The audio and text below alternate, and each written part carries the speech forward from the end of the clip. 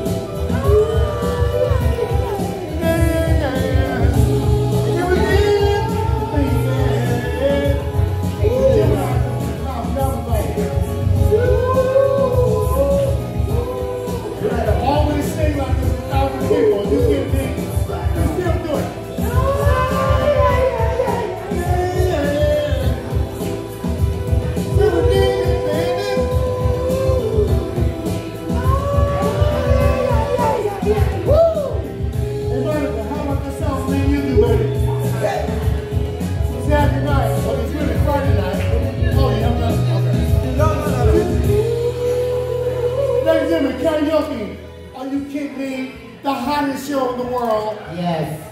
It is New Year's Eve.